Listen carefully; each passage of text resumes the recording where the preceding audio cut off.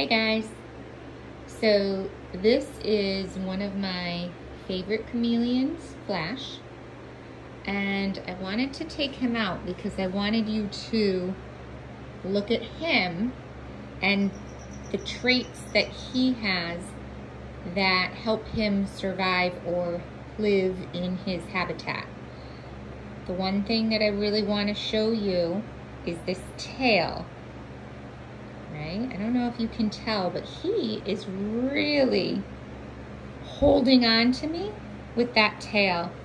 It's called a prehensile tail.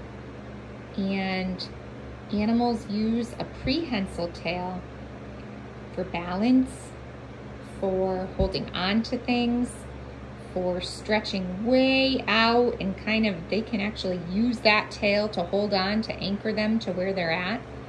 So a prehensile tail is a trait that only some animals have. A cat's tail is not prehensile. They can't use that tail to hold on or to balance themselves.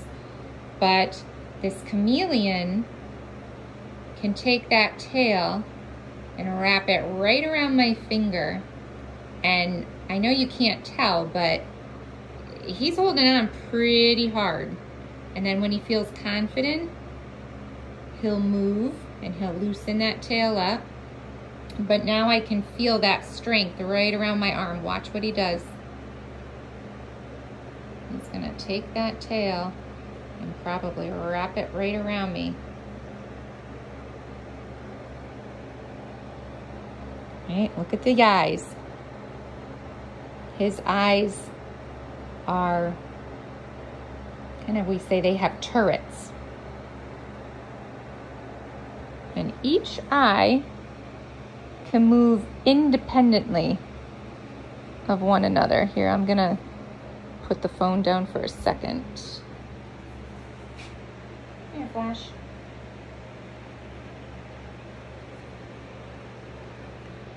All right, I'll put him on a stand here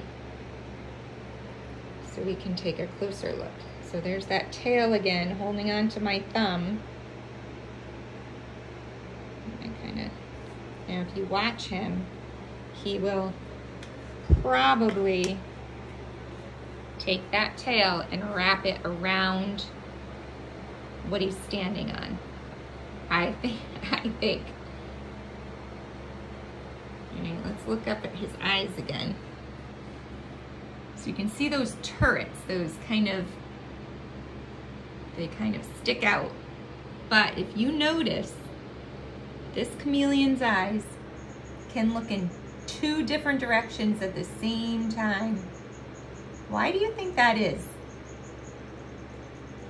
I'm gonna ask you that question and maybe you can comment it to me later. And he does not have eyes like we do. He's looking down at this food right here. And, you know, the other thing he's looking at, all of these other chameleons that are staring at him. Right. So he's kind of keeping an eye on them. And then also this food, because Flash is a hungry boy. I bet he'll help himself. Maybe I'll hold. These are actually like little tiny treats for him. This is like nothing. I would give him something much bigger if I had it on me. But watch what he does. I know you guys already know how he oh, he might be really distracted by come on doodle like, I don't want these tiny treats. I want something much bigger. Flash, don't make a fool out of me. The kids want to see you eat. Maybe if I give him a whole bunch together. He's also looking at these little bins down here. So if you guys can see these, this is what I do. All right, my other kind of job per se is these chameleons will lay eggs and have baby chameleons. And right now, Mrs. LaFramboise has so many baby chameleons, it's a little crazy. So Flash might be looking at those baby chameleons and saying to himself, now that, mommy, would be a tasty treat.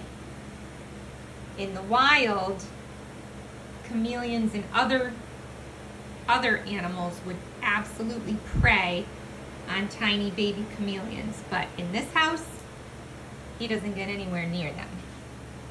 So let's see if I can entice him with a whole bunch of worms. Yeah. All right. Did you see what he just did there? So that's another trait that is unique to chameleons. We learned, a lot of you learned that bearded dragons a couple of weeks ago when we were learning about Spike have sticky tongues, but Spike can't shoot his tongue out. Spike has to be pretty close to the prey that he wants to eat. A chameleon, on the other hand,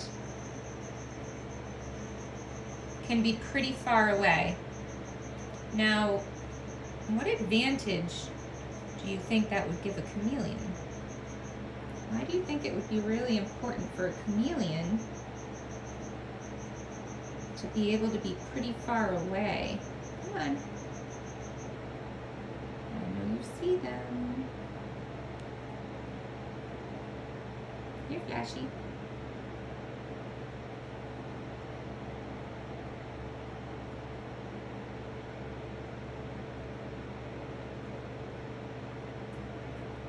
Love Flash. He's, I think, my favorite chameleon. He's just, let, look at that. He almost got him off. So in that tongue, that tongue is just a huge muscle. And he can shoot it out really quickly before bugs even know that they're about to get attacked. And at the end of that tongue is like this little pouch and he can obviously get a much larger animal, worm, or he can get tiny things too. Occasionally he has missed the target and hit Mr. LaFramboise's hand or my hand and we can tell you that when he does that, he gets stuck sometimes we don't try to do that very often because you know if you were running and you tripped or you kind of ran into a hole you could get hurt you could sprain your leg your ankle. Well chameleons are the same way. Because their tongues are so sticky and it's a big muscle if he does something that doesn't go according to plan he can injure it as well one more spike before we say bye to the kids. Actually, I want to show you his feet before we say goodbye. And put this one back.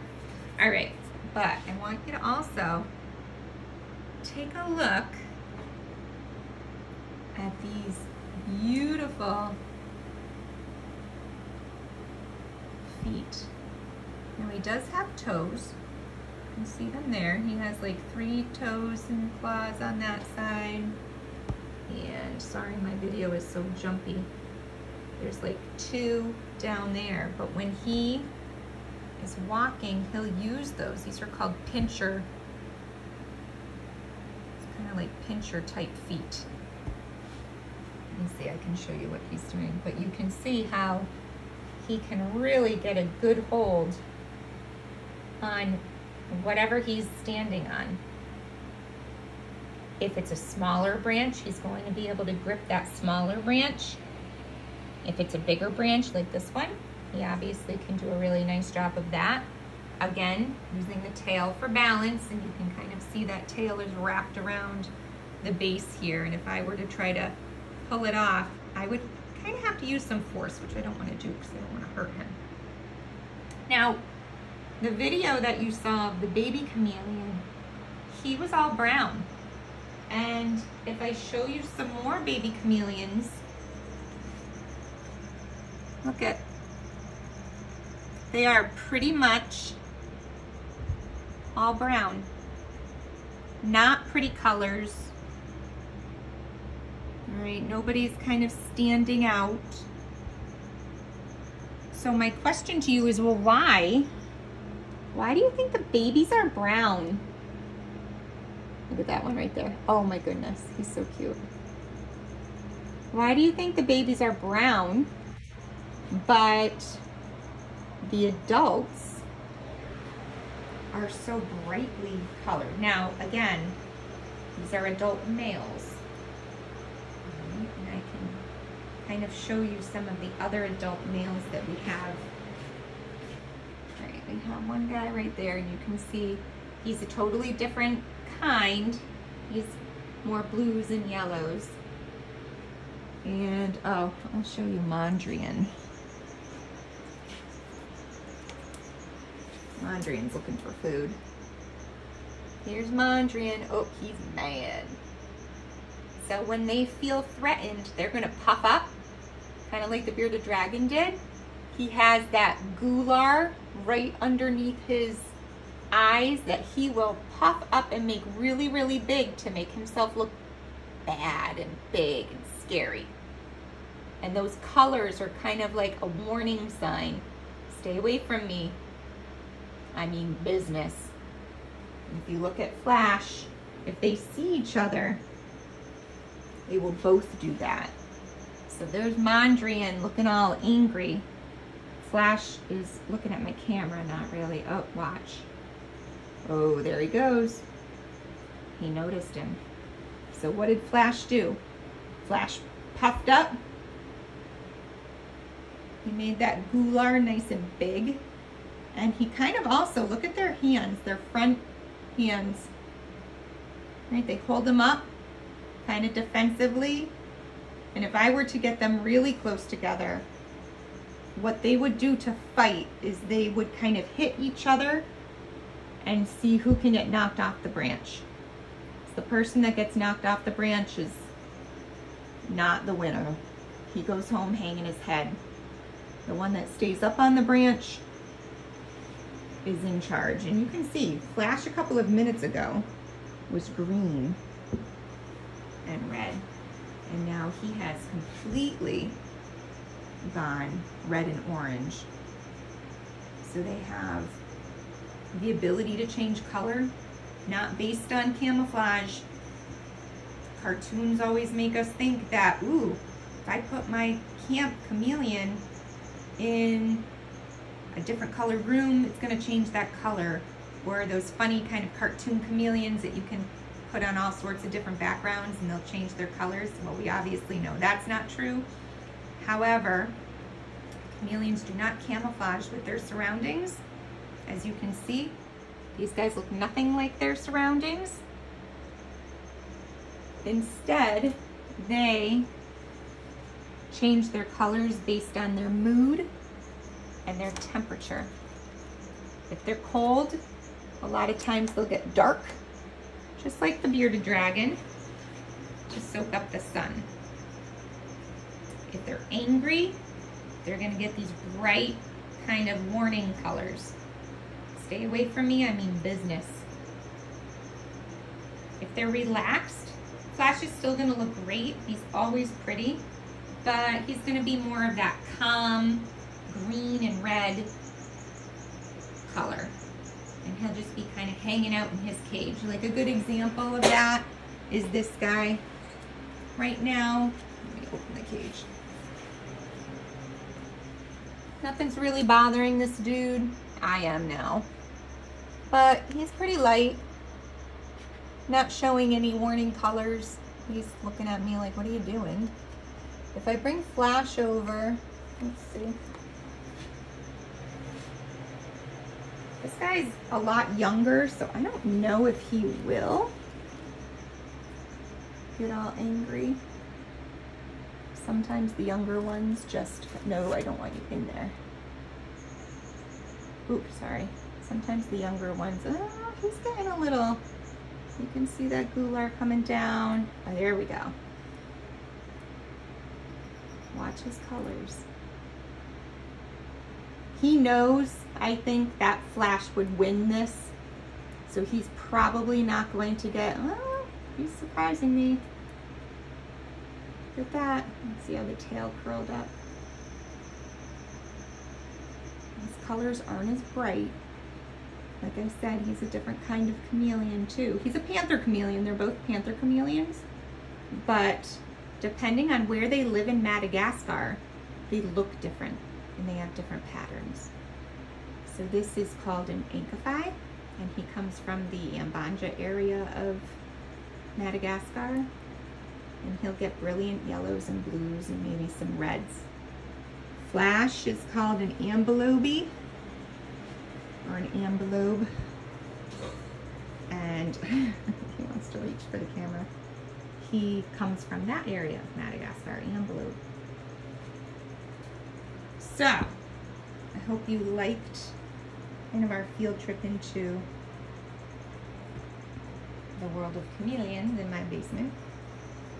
Um, I have a lot of other animals here too that I can kind of share with you. I have a lot more chameleons that I could share with you too, but Flash is probably my favorite. Come on. Come on. Some chameleons will bite. There are definitely some chameleons like Mondrian that I wouldn't really pick up. If we work on him, he'll probably, he would probably learn to trust us a little bit, but Flash has trusted us right from the beginning.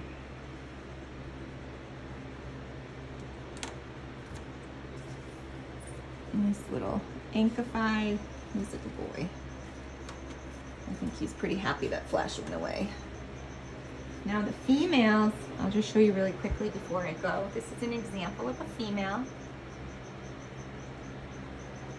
A lot of females will just be kind of pinks.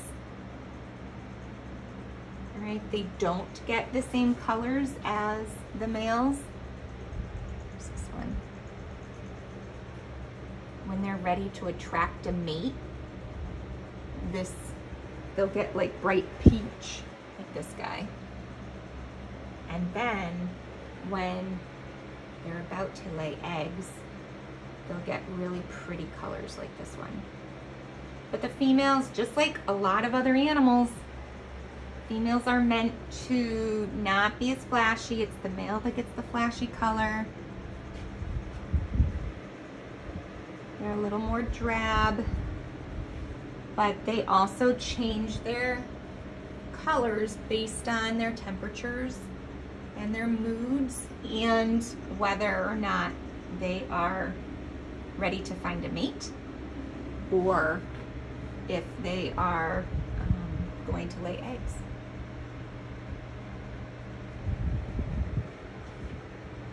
Mm, me see this one in here. Sometimes chameleons can, she's kind of in there hiding. Some chameleons do do a nice job of hiding.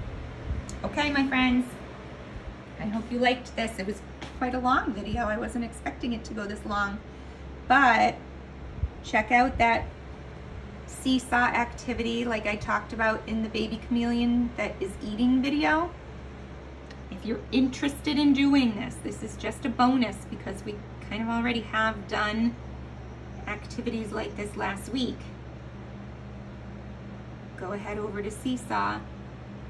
You can draw your own chameleon or you can upload a picture of a chameleon from the internet and then maybe make those labels again that show um, what traits you learned about from this video and what you're also noticing. Look at that tail holding on. I absolutely cannot wait to see what you do if you choose to do it.